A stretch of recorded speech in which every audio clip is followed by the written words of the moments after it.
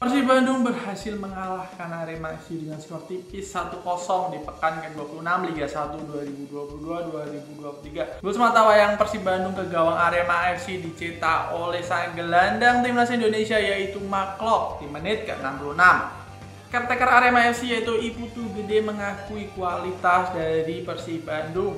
Namun Iputu Gede juga mengapresiasi perjuangan Arema FC yang tak mau kalah dari Persib Bandung. Terutama di babak pertama, Arema FC terus-terusan menekan Persib Bandung. Terutama di babak pertama, Ibu Tuh Gede sangat senang dengan penampilan Arema FC yang terus-terusan menekan Persib Bandung. Namun sayangnya Dewi Fortuna lebih berpihak pada Persib Bandung ketimbang Arema FC.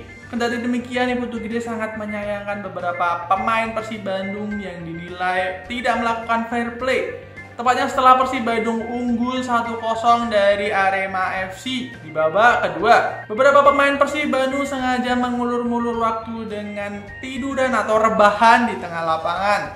Ya akhirnya banyak waktu Arema FC yang terbuang sia-sia hanya karena pemain Persib Bandung yang rebahan. Butuh Gede berharap Persib Bandung bisa melakukan pertandingan fair play pada pertandingan selanjutnya. Terima kasih sudah nonton.